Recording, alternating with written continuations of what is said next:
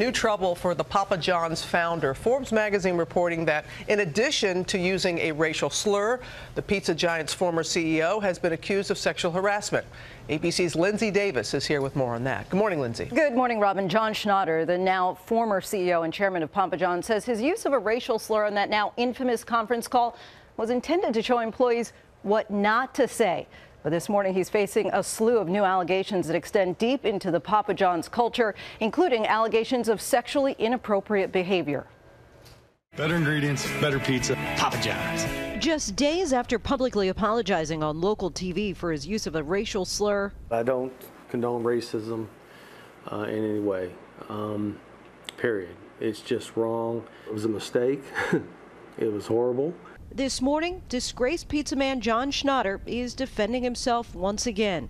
This time against allegations made in a new article on Forbes.com, citing reports from dozens of mostly anonymous current and former Papa John's employees claiming Schnatter would spy on his workers and displayed sexually inappropriate conduct. A former female employee who told us that every time she walked down the hall, Schnatter insisted on hugging her, that he asked the size of her bra, that he asked if she'd slept with her previous boss. Clearly comments that are never acceptable from the head of a company with one of his employees. The article also cites that in 1999, Schnatter settled a lawsuit with a non-employee who claimed he groped and stalked her after meeting at a party, something Schnatter denied at the time. Forbes describes Papa John's as a bro culture, enabled by Schnatter and other executives, where it says meetings often consisted of profanity and inappropriate comments toward women. According to one anonymous individual quoted in the article, there were meetings where even the current CEO Steve Ritchie just laughed along. Schnatter's attorney tells ABC News the story contains numerous inaccuracies and misrepresentations. It's easy to make false statements when one hides behind the cloak of anonymity.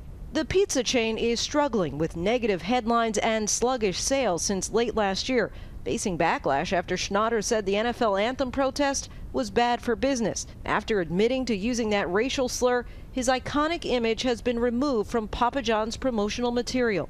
And more than a dozen professional sports teams from the MLB, NFL, and NBA, plus many universities, have suspended or canceled their promotions with the pizza brand. We reached out to the current Papa John CEO, Steve Ritchie, for comment, and the company replied with a statement which reads in part, We take this matter seriously. If anything is found to be wrong, we are determined to take appropriate action. They also remind the public that they've hired a special committee to investigate the company culture. And we're hearing even the agency that handles the media efforts for the company severing ties? Yes, they announced that just yesterday. They say that this new information calls into question the culture at Papa John's, and they say that it's not in line with their values. Oh, boy. This story just continues Does on not and on. stop. All right. Thank you, Linsey. Hi, everyone. George Stephanopoulos here. Thanks for checking out the ABC News YouTube channel. If you'd like to get more videos, show highlights, and watch live event coverage, click on the right over here to subscribe to our channel. And don't forget to download the ABC News app for breaking news alerts. Thanks for watching.